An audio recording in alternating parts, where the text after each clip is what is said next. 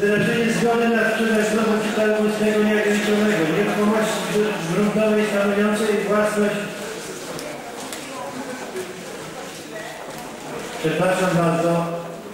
Panie, Panie Przewodniczący Habranek. Panie Przewodniczący Habranek. Panie Andrzeju, bardzo a za chwilę będą Państwo redaktorzy również podchodzić do śmigi. Ile Pan uważa? Państwo redaktorzy też będą nam tu do śminek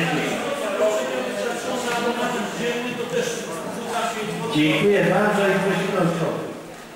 Wyrażenie zgody na sprzedaż domu przetargu swego nieograniczonego nieruchomości gruntowej stanowiącej własność miasta Krakowa na prawach powiatu zabudowanej nieruchomości użytkowej położonej w Krakowie przy ulicy Szyrokomej nr 21. Projekt prezydenta druk nr 1002. Pierwsze czytanie referuje pani Marta Kutkowicz. Pani dyrektor prosimy. Panie Przewodniczący, Szanowni Państwo Radni, projekt uchwały dotyczy wyrażenia zgody na zbycie w drodze przetargu ustnego nieograniczonego nieruchomości e, położonej w Krakowie Kraworzy, e, oznaczonej numerem działki 193, powierzchnia działki 16, ale 70 m2. Działka zabudowana jest budynkiem e, użytkowym położonym przy ulicy Krakowi 21.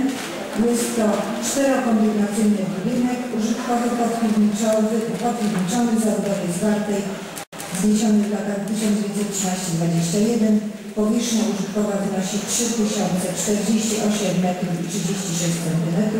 Ponadto na działce znajduje się dwukondygnacyjny budynek oficyny podpiwniczony z metrów, murowany garaż składający z czterech boksów o łącznej powierzchni 42,30 metra kwadratowego i e, jest to, e, jest to budynek, który został wyszacowany razem oczywiście z gruntem na kwotę 13 milionów 995 tysięcy, to jest to 4275 zł za metr kwadratowy powierzchni użytkowej budynku. Dziękuję bardzo. Dziękuję bardzo. Otwieram dyskusję. Czy ktoś z Państwa chciałby zabrać głos? Bardzo proszę Pani Radna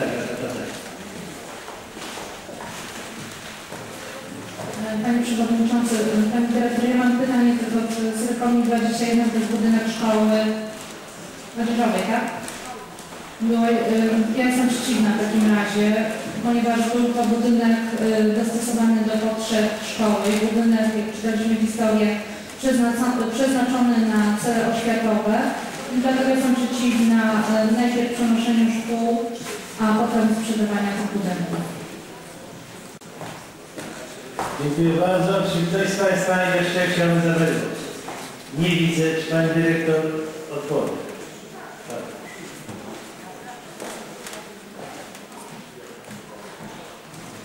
Tak, oczywiście jest to budynek byłej szkoły e, odzieżowej, zespołu szkół odzieżowych. Pod warunkiem, że ktoś sobie to kupi i tam sobie takie cele będzie realizował, ponieważ tak jak w uzasadnieniu jest tutaj napisane, ten e, obiekt, e, który wprawdzie nie jest wpisany do rejestru zabytków, ale podlega ochronie konserwatorskiej, jest w ewidencji zabytków, Dopuszcza się tam możliwość zmiany funkcji obiektu, ze względów konserwatorskich byłoby korzystne utrzymanie funkcji budynku przeznaczonego na cele edukacyjne.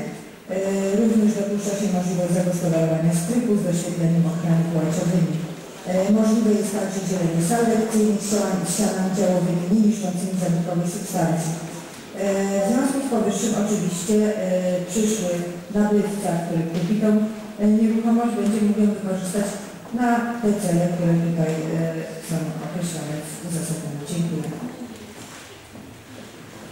Dziękuję bardzo. Czy ktoś z Państwa chciałby zabrać głos?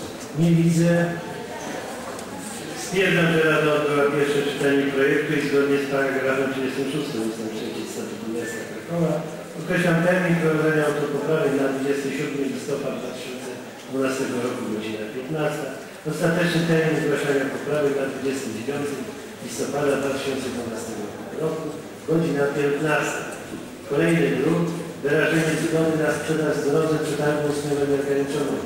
Niezabudowanej nieruchomości gruntowej stanowiącej praw, położonej w Krakowie. Przy ulicy Jakuba. Projekt prezydenta miasta Krakowa, druk numer 1017, pierwsze czytanie, referuje pani dyrektor Witkowicz. Ja tylko chciałbym Państwu przypomnieć, że poprzednio i obecnie w obecnym druku jest pozytywna opinia Komisji Mienia i Przedsiębiorczości. Panie Przewodniczący, Panie Prezydent, Panie Prezydencie, Szanowni Państwo Radni, projekt uchwały dotyczy sprzedaży w drodze przetargu istnego nieograniczonego nieruchomości położonej w Krakowie przy ulicy Jakuba, działka niezabudowana o powierzchni 330 m2. E, Ta e, działka, na tą działkę otrzymaliśmy decyzję o warunkach zabudowy 31 maja 2012 roku e, z przeznaczeniem na zabudowę budynkiem mieszkalnym, wielorodzinnym z usługami i garażem. E, Nieruchomość została wyszacowana na kwotę 1 473 tysiące złotych 21 groszy. To jest o 4463 zł i 70 groszy. Do tego dochodzi podatek VAT w wysokości 23%, czyli cena wywoławcza będzie wynosiła 1 811 900 zł, czyli po 5490 zł za metr kwadratowy. Dziękuję bardzo.